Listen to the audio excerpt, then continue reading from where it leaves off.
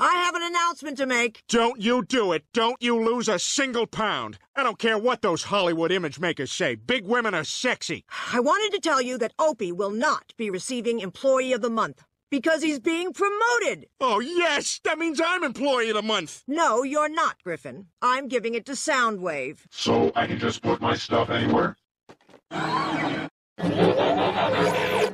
My wife Denise, we met in a Christian chat room.